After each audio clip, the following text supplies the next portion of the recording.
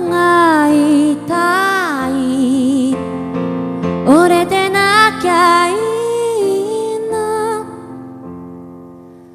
咳込みすぎたこと後悔している。寂しいな。声が聞きたいな。便座の冷コーヒーの苦さ。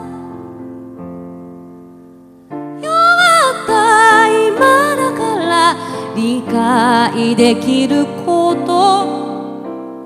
寂しいな。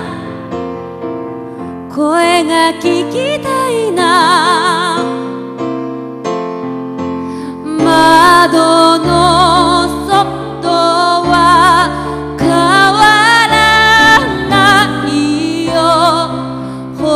ingat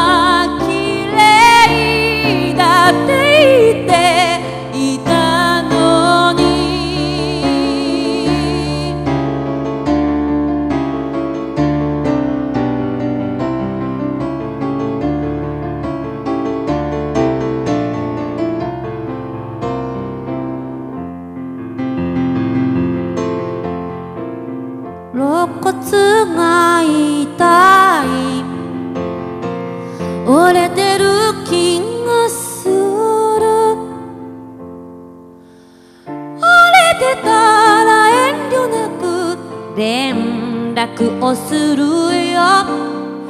リンパ冷やしたり温めたり